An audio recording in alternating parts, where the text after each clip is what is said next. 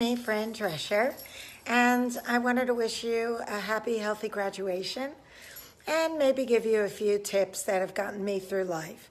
First of all, bad things happen to good people.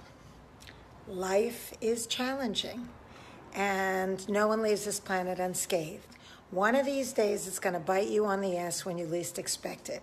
So, every day that things are going well, be in gratitude. Be aware that you're so lucky that you're having a beautiful day.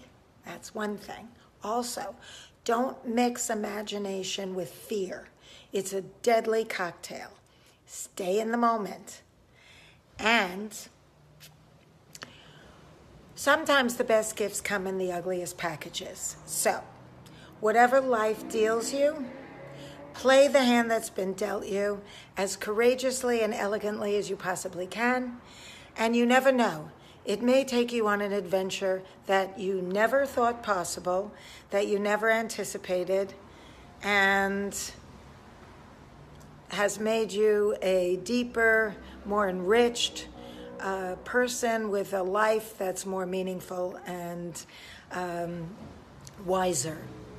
Whatever you go through, make sure that you understand that how you deal with it and what you learn from it and how you grow through it is what makes all the difference because this is a big classroom and you are here to learn.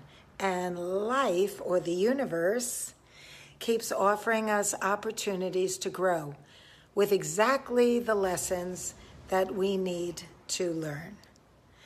And if you don't know what you want to do, here's a tip Figure out what really makes your heart sing. Don't be practical, be passionate. What makes your heart sing? And when you figure out what makes you really happy that you can do anytime anyone asks you to do it, then figure out how to make a living at it. Because if you do what you love, you'll never really work a day in your life. I wish you good health, much happiness, and long life. Peace.